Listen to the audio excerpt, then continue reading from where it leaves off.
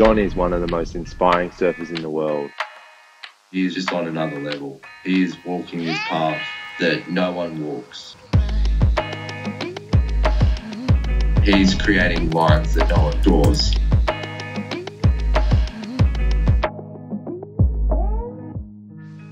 Every sticker on his board is an ethical, sustainable company that has a deeper message or purpose.